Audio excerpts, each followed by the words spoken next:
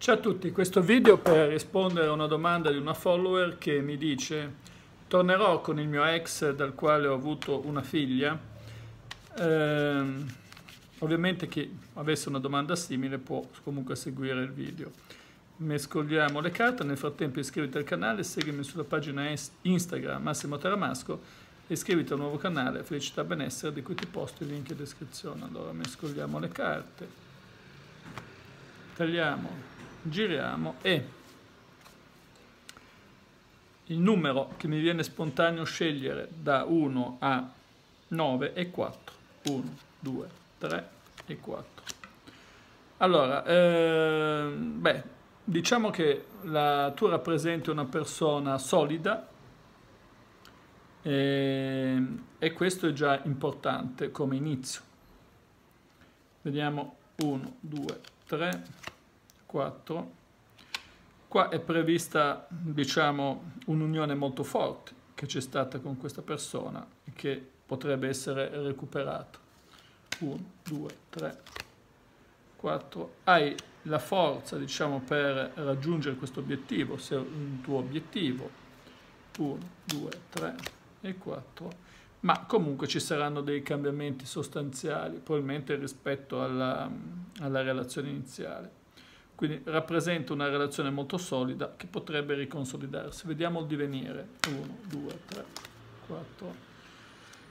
Diciamo che avrai giustizia sulla base di quelle che sono le tue aspettative. 1, 2, 3 e 4. Anche se hai a che fare con una persona che adesso lavora un po' nel torbido, quindi è possibile che ci siano altre situazioni sotto, diciamo, altre relazioni, cioè non è una persona che si manifesta palesemente per quello che è. 1, 2, 3, 4, soprattutto perché hai a che fare con una persona eh, un po' con la testa tra le nuvole, poco efficiente, diciamo così, nel, nel definire quello che vuole, cioè uno che non sa tanto quello che vuole.